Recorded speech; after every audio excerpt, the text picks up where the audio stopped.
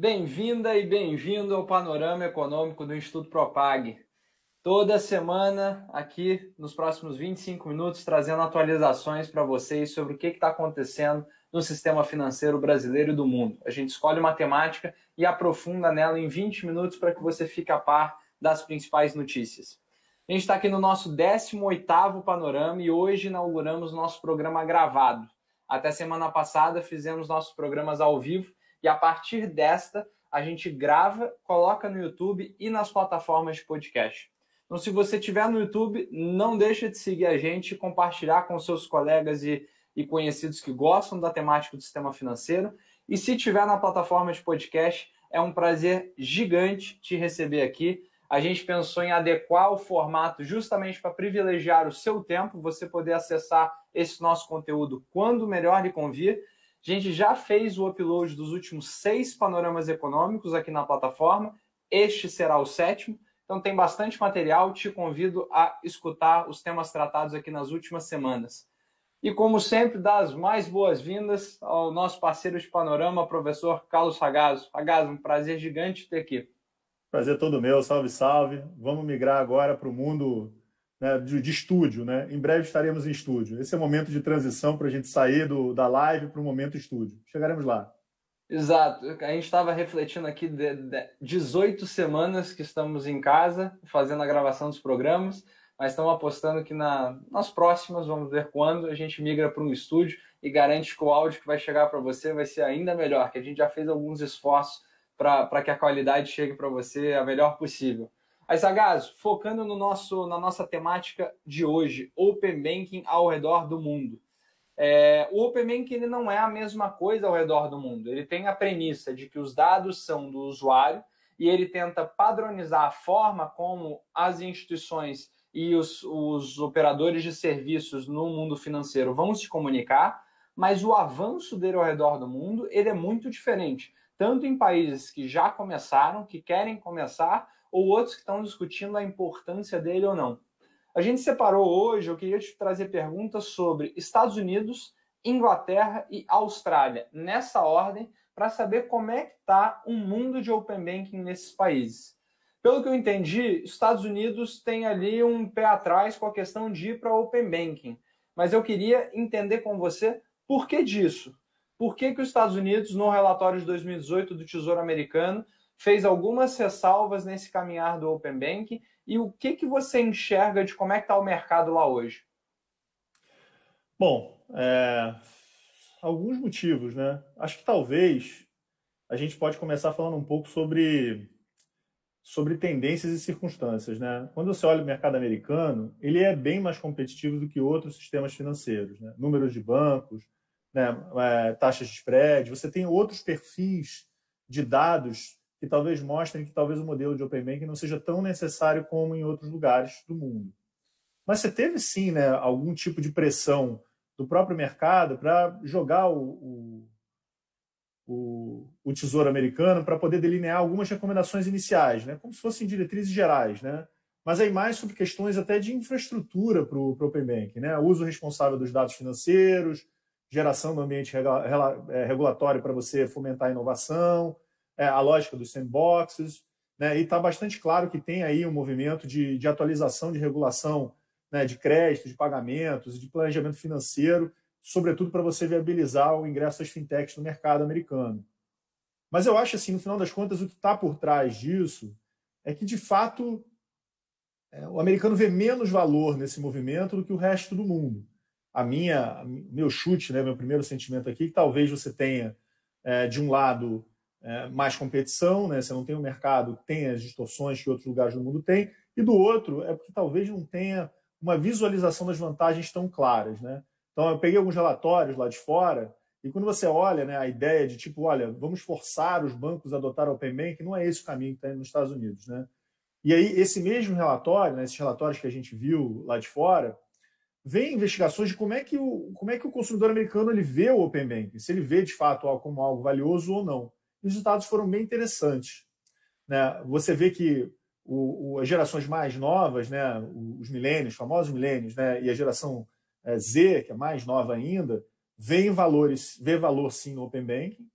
mas ao mesmo tempo também tem uma certa preocupação sobre privacidade, segurança e utilização de dados pessoais.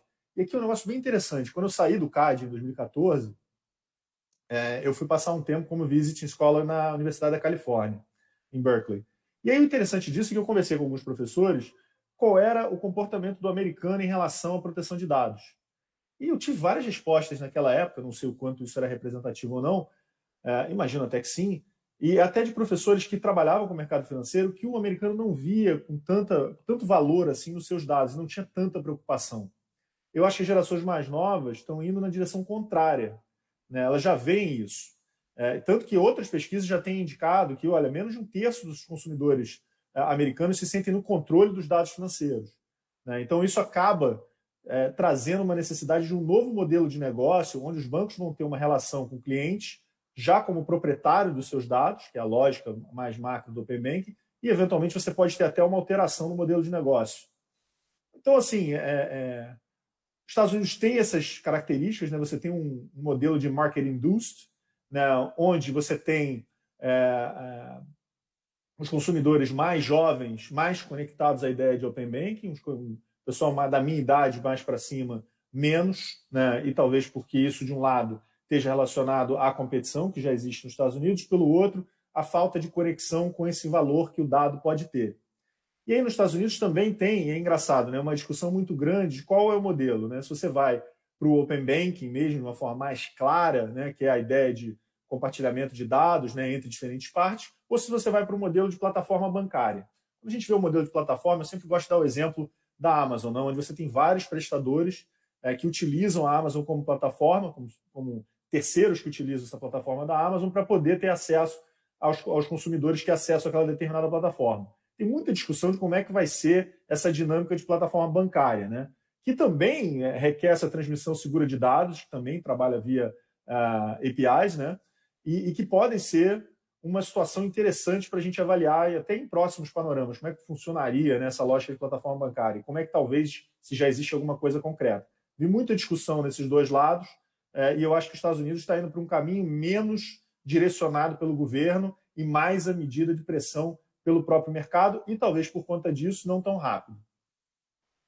Interessante. Pelos pontos que você trouxe, Ragazzo, fica a impressão para mim de que existe, enxerga-se uma oportunidade maior de oferecer produtos é, de Open Banking para a população mais jovem, mas ao mesmo tempo essa população tem um escrutínio maior do que, que vai ser feito com esses dados. E a forma de usar esses dados precisa ser muito bem combinada pelos agentes do mercado, que é o que você vê em outros lugares, o regulador puxando esse combinado em muitos lugares. E dado que lá o regulador não está puxando isso, os players do mercado têm que fazer esse combinado. Outro ponto interessante que você trouxe é uma pergunta que a gente recebe com frequência aqui no canal é o que, que o Open Banking de forma prática vai me dar? E aí muitas vezes a gente fala um credit score talvez melhor é, delineado, de forma que as, que, que as instituições consigam oferecer um produto de crédito mais barato para você, uma facilidade de troca de instituições, uma facilidade de acesso a outros produtos isso talvez nos Estados Unidos você já tenha uma certa facilidade. A gente já comentou em, em, panoramas econômicos passados aqui que hoje um crédito imobiliário nos Estados Unidos você entra em uma plataforma e pode ver que outras instituições estão oferecendo créditos mais baratos e trocar esse crédito com alguma facilidade. Então, um dos produtos práticos do Open Banking, o americano já tem, por exemplo. Então, talvez seja aí essa, não exista essa demanda tão forte para que a coisa avance rápido. E aí, queria trazer agora a questão da Inglaterra, que aqui no Brasil é bastante falada como um dos projetos de Open Bank que o regulador tem puxado. Se você tenta encontrar informações na internet, tem um site estruturado, você consegue ver os milestones do cronograma deles, o que, que já foi feito, para onde estão apontando no futuro. Mas eu queria te perguntar, com, com um olhar crítico de, muito embora já tenha avançado, o que, que é a sua percepção que as pessoas que estão implementando o Open Banking lá avaliam como foi bem sucedido e o que, que eles olham para trás e gostariam de ter feito diferente. Isso é muito uma provocação que a gente fez no panorama passado, trazendo a, a provocação de que o regulador brasileiro estava atento para o que, que já aconteceu no Open Banking ao redor do mundo e a proposta de governança que a gente tem aqui tenta endereçar diversos desses pontos. Queria saber o que, que aconteceu lá, lá na Inglaterra, tanto de pontos positivos quanto o que, que você acha que eles poderiam melhorar. Então, acho que vamos, vamos dar um passo para trás, né? Quando a gente fala de Open Banking, novamente, a gente já está falando isso já é, há alguns programas, e o que eu acho que cada vez fica mais interessante é que você vê o plano e o mapa do desenho da política. Né? Para você conseguir fazer o plano e, consequentemente, o mapa, você precisa entender quais são os fatores de infraestrutura, o que, que precisa vir antes para que o procedimento né, consiga funcionar e você consiga transformar o Open Banking numa política pró-inovação, pró-competição, com impacto. Né? Que ela é uma política pró-inovação, pró-competição, ela é. Mas saber qual é o tamanho do impacto dela é que é a grande sacada da história. Lá no, no Reino Unido, né, você teve, basicamente, a política ela decorre tanto da diretiva, né, da PSD2, né, da, da União Europeia, e também, e aí, nossa, eu não poderia ser mais fã de um órgão de defesa da concorrência no mundo, que é o CMA é, do Reino Unido. Super, super é, bom. Eu tive lá é, na minha época de CAD, conheci o pessoal de lá, incrível, super bem estruturado e, e tem brasileiros lá trabalhando, que eles aceitam gente do mundo inteiro. Só que o ponto dessa história tinha a ver, né, as dificuldades do Open Banking ali, tinham a ver com a construção infraestrutura, dessa infraestrutura. A gente discutiu na semana passada as diferentes visões que os players que participam dessa, desse marco regulatório de Open Banking pode ter. Então, a, a necessidade de você ter uma abordagem que precisava ser acordada entre muitos interessados criou atrasos. Porque esses, esses enfim, esses participantes, né, esses terceiros, os bancos, os reguladores, todos eles têm objetivos, ambições, preocupações diferentes que precisavam ser equilibradas. É, e isso levando em consideração um objetivo maior que está por trás disso, que é você manter a confiança na indústria financeira né, e a resiliência do setor. Porque, vamos ver, é, é, para a gente entender direito essa situação, a gente está saindo de uma situação onde a gente tem uma preocupação muito grande com prudência e regulação sistêmica, né? E a gente está indo para a competição. Então, isso significa que a gente não pode prejudicar a parte anterior para poder ir para a competição. As coisas têm que coexistir, elas têm que conviver. Né? E para discutir isso, atrasou bastante. Então, acho que nesse aspecto, né, o que aconteceu na Inglaterra, e que talvez seja um bom exemplo que a gente tem aqui no Brasil, é que a gente tem uma governança de discussão é, que já está montada e ela é super representativa. Então, assim, os primeiros movimentos na Inglaterra foram mais no sentido de conformidade com a Diretiva Europeia de Pagamentos, né? É, e uma primeira visualização de taxas de adoção de bancos abertos baixas, né?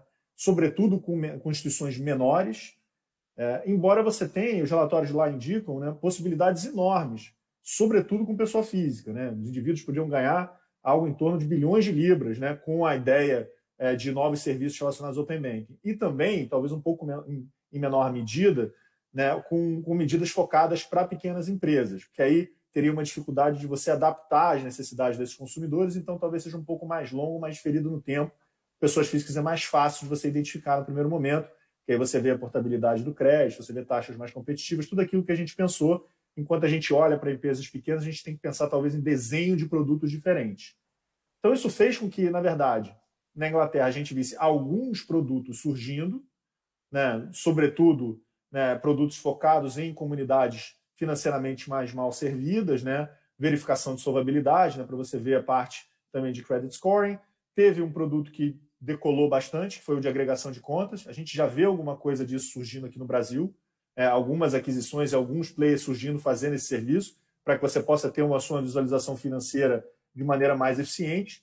Mas, de fato, né, esse avanço de produtos lá não foi muito uniforme. Talvez isso esteja, isso não está muito claro das experiências e do que eu li. Talvez isso esteja relacionado com as dificuldades na construção dessa infraestrutura. Quando eu digo essa infraestrutura, eu digo em aspectos de proteção de dado e de cibersegurança e interoperabilidade. É quase como se você tivesse uma infraestrutura para você poder viabilizar o marco regulatório. Tudo isso é, teve bastante divergência, isso atrasou o processo. Então, isso fez com que o avanço dos produtos não fosse tão violento. Mas o que eu estou vendo é, desse modelo inglês é que você tem uma esperança de que isso vai mudar, que foi um slow start, mas que depois a coisa vai pegar é, um movimento um pouco maior. Então, pelo menos eu acho que tem a ver é com esse primeiro momento né, de grandes dúvidas e grandes discussões a respeito dos modelos para poder construir essa infraestrutura para depois, efetivamente, você ter um modelo de Open Banking. Então, assim, é, os dados são ainda pequenos, né? você está olhando um milhão de pessoas, né? É, mas os nove fornecedores, os nove maiores bancos, nove maiores fornecedores de contas correntes, tanto na, na Inglaterra né, como na Irlanda do Norte, é, que são conhecidos como CMA9, né? Eles já têm, já estão envolvidos, né? Já estão participando disso, já já, são, já foram obrigados desde 2018, né, a poder conceder os dados é, e vários, né, mais de um milhão de pedidos já foram concedidos com esse aspecto. E você teve alguma evolução, sim. Né? Ela talvez não esteja é, na expectativa que o pessoal da Inglaterra estava tendo no primeiro momento, mas você já tem aqui no final de 2019, né, já tem mais de 200 provedores de serviços bancários que estão dentro do Open Banking, que são regulamentados, né, é, que criam o que a gente chama né, de 200 milhões de chamadas mensais, né, com, uma, com, com algum representante fazendo solicitação de dados né, para um terceiro prestador de serviço. Então você tem isso sim. E você já tem um iníciozinho, é, que também com dados de dezembro de 2019, de pessoas fazendo pagamentos em conta por meio de um aplicativo que não é do banco. Então você tem. O negócio está em movimento. As pessoas olham a Inglaterra como se fosse um mau exemplo. Eu não sei se ele é um mau exemplo ou se ele de fato teve dificuldades nessa construção de consenso para que depois ele pegue velocidade. Acho que a gente vai ver isso bastante agora nesse momento pós-pandemia. Eu gosto de destacar isso, tentando trazer para a pergunta sempre do prático, é, que fica sempre a dúvida do que, que o Banking vai trazer. E a gente destacou na semana passada que grande parte do desafio de desenhar o que será o Open Banking envolve em você criar um ambiente que inovações futuras sejam muito bem-vindas e fáceis. Não é desenhar um ambiente que comporte o que, que a gente tem agora. E aí talvez surja a ideia de que vários produtos vão surgir, a competição vai, vai assim ser muito rápida em determinado produto. Pelo que a gente vê na Inglaterra, os, os moves dos participantes foram graduais, como você relatou. Você pega o, o, o cronograma é, de principais anúncios de produtos, não é que três bancos atacaram um produto financeiro especificamente. Um atacou um, outro foi em outro, e aí aos poucos você vai construindo um ambiente mais competitivo. Aí, de fato, acho que fica essa pulga atrás da orelha de tentar entender se foi um slow start, se vai ser algo que vai acontecer com, ao redor do mundo como um todo. Mas o que, que a gente tem é um Open Banking Policy Induced, que é o, o regulador puxando, trazendo os, os, os, players privados para discutirem, mas esse começo mais devagarinho. E aí eu queria te, te perguntar sobre o terceiro caso que a gente queria analisar hoje, que é a Austrália, é, que tem um Open Banking também, que o regulador está puxando, mas pelo que a gente vê lá, tem um caminho, uma direção assim é, é muito clara e a velocidade com que eles estão caminhando também está um pouco mais acelerada. Queria te perguntar, o que, que você acha que tem de diferença entre os dois modelos iniciais? É, se você acha que tem algum aprendizado que eles possam ter tirado do, do, da Inglaterra e dos Estados Unidos, e o, qual a clareza que a comunicação deles com o que, que eles querem do Open Banking traz para os cidadãos e para os usuários do sistema financeiro? A Austrália, eu já falei com você algumas vezes, né? A Austrália, para mim, é um, é um, dos grandes modelos. Inglaterra também, tá? Não vamos desmerecer a Inglaterra. Mas a Austrália é um dos grandes modelos de transparência de serviços públicos e de, é, de policy objectives, né? De você conseguir trazer com mais clareza para onde o governo quer chegar e como ele quer chegar. É super bem trabalhado. Esse aspecto de comunicação é algo muito importante. Inclusive, até agendas regulatórias, elas precisam ter isso. Aqui no Brasil você tem planos né, de agendas regulatórias que são aprovados e que são discutidos, mas eu acho que se tem um bom benchmarking para isso é a Austrália. Quando você olha lá esse modelo né, government induced, né, você tem o governo fazendo é, a indução de adoção do open banking, você tem com muita clareza né, que tipo de produtos eles querem. Então, se você vê com clareza que eles querem comparadores de serviços, eles querem movimentos de portabilidade, eles querem né, um target de produtos específicos, aqui muito provavelmente para pequenas empresas, né, e talvez até para grupos excluídos financeiramente. Né, eles querem é, produtos que vão permitir a visualização é, de uma maneira mais clara das suas finanças. Né, e eles também fazem toda a dinâmica do fluxo, né, do que, o que exatamente funciona essa lógica do compartilhamento de dados. O fluxo de consentimento, o, o, a verificação de identidade, a confirmação dos dados, compartilhamento, né? como é que vai funcionar o serviço de provedor. Então, tem muita clareza sobre o perfil de produtos que eles querem gerar e do ciclo. Acho que o Brasil seguiu bastante o que está acontecendo lá. Isso provavelmente vai trazer com que, fazer com que a gente erre menos no processo. Óbvio que tem sempre é, algumas dificuldades no meio do caminho que, não, que são imprevisíveis. Não tem como você ter clareza sobre todas as etapas, até porque cada mercado tem a sua realidade. Mas em termos de planejamento, eles foram bem interessantes até porque eles também colocam qual é o perfil de benefício que você vai ter com o Open Banking. Quando você olha, por exemplo, né, a ideia de você conseguir de maneira mais fácil um, cartão de crédito, cartão de débito, você ter acesso a um empréstimo que seja mais adequado com o seu perfil, né, e a ideia de você ter uma educação financeira a partir também é, de aplicativos que vão visualizar e vão permitir que você entenda melhor o seu perfil para você poder ser orientado a utilizar aquele instrumento, por exemplo, de crédito. Né? E, lógico, portabilidade. Portabilidade parece sim um objetivo muito grande lá, que, inclusive, se você olhar o relatório que a gente viu do Banco Central é, relacionado a 2019, ele ainda estava bastante baixo, né? ainda focado, lembrando daquela apresentação que a gente fez, em consignado e um pouquinho menor em imobiliário. Mas o, o, a gente ainda não tem tanta clareza né, desse movimento da Austrália. Ele parece bom, como brasileiro também parece bom, mas ele está uma etapa um pouquinho atrás. Né?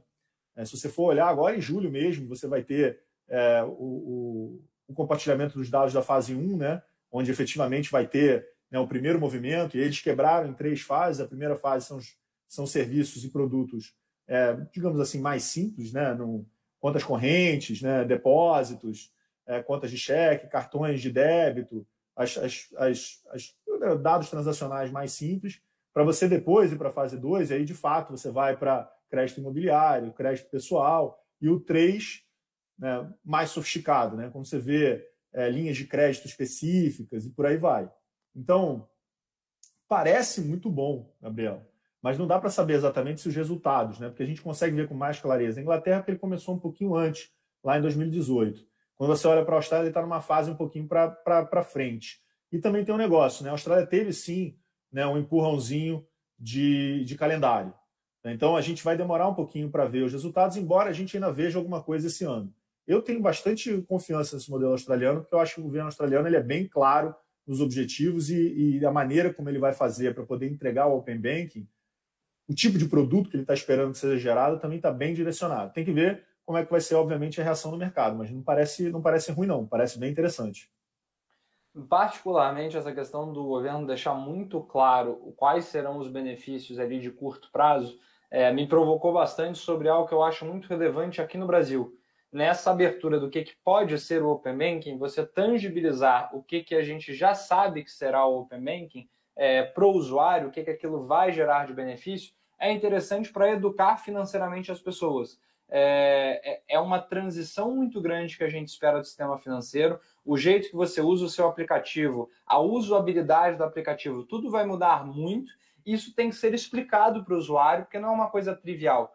O que eu senti bastante olhando para a Austrália é essa preocupação com a comunicação, e eu imagino que acessando o site, um australiano tem clareza do que, que acontece, do que, que eles estão prevendo que aconteça. E não apenas isso, eles têm clareza de, por exemplo, quais dados ele vai ceder e para o que serão usados esses dados e de que forma você consegue limitar esses dados. Esses são todos temas que estão na mesa para a convenção do Open Banking aqui no Brasil discutir. O Comitê Estratégico vai ter que bater o martelo nisso. Uma vez batido o martelo, eu acho que fica uma provocação aí, uma bola quicando, de que a comunicação disso seja feita de forma muito redonda para que todos os players consigam participar em cima de uma informação já bem delimitada e bem comunicada para os usuários. Isso que ficou, pelo menos, de, destacou para mim como um ponto, uma bola que eles acertaram bastante. E aí. É, deixa... Tem, deixa eu só dar uma complementada nisso, porque tem um, tem um negócio interessante que talvez a gente esteja deixando de lado, a gente foca muito na instituição, mas tem o consumidor. Então, é, ele vai ter que ser convencido e treinado, né, educado até, né, melhor dizendo, para saber fazer uso desse instrumento. Porque sem o consentimento do consumidor, ele, a gente não vai conseguir fazer com que o Open Banking funcione no Brasil. Então você consegue ver na Austrália uma clareza muito grande né, das próprias campanhas. Né? As, né, as empresas que estão lá certificadas pelo órgão específico para poder falar, olha, eu sirvo, eu posso receber seus dados. Né? E você tem uma clareza muito grande da, da finalidade do consentimento. Né? Então, a gente estava discutindo também hoje mais cedo, falando sobre a pauta, né? Para que, que é o seu consentimento? Para que tipo de produto eu aceito compartilhar o meu dado? Porque também, se houver algum grau de abusividade, as pessoas podem ter menos, menos adesão ao instrumento. Né? Dado que existe essa crescente preocupação com dados, com privacidade e com fraudes, né? Então todo mundo já está. A gente fez esse dive no mercado online de uma maneira muito violenta. A gente começou a ter mais preocupação com isso, e isso vai ser só crescente. Então, o Open Banking saber comunicar passar tranquilidade e conseguir fazer com que o consumidor entenda o instrumento, entenda o ambiente que ele vai estar, eu acho que vai ser assim fundamental para o projeto funcionar. E fica a provocação aqui para as pessoas que trabalham em fintechs, trabalham em instituições financeiras que estão escutando a gente. É, eu percebi um ambiente bastante já movimentado sobre isso na Austrália. Buscar os benchmarks lá parece algo muito salutar para a construção desse mercado é, com transparência de informação e com maior educação financeira que a gente tanto fala aqui no canal. Então, ficar o, o convite a quem quiser procurar mais coisa lá e provocar a gente sobre, canal super aberto. E aí fazer o último destaque, que muito embora a gente esteja gravando o, o, o programa e disponibilizando ele é, já como gravado, perdendo talvez um pouquinho da nossa interação ao vivo, os nossos canais seguem 100% abertos, a gente monitora os comentários aqui no YouTube, nosso Instagram e nosso LinkedIn ou contato arroba institutopropag.org. Então, absolutamente abertos a críticas, comentários, sugestões de pauta. A gente quer interagir com toda e qualquer pessoa que esteja interessada em discutir o sistema financeiro. Então, vai ser um grande prazer e sintam-se convidados a falar conosco. A gente quer conversar com você que está escutando a gente. Desejar então uma boa noite se estiver escutando de dia, um bom dia se estiver agora no início da manhã, ou uma boa tarde convidar você a se inscrever aqui no nosso canal do YouTube, se estiver vendo ao vivo, ou seguir o nosso programa aqui, seja no Spotify ou nas principais plataformas de podcast. Muito obrigado pela audiência. A gente se vê aqui na terça-feira que vem. Tchau, tchau, gente.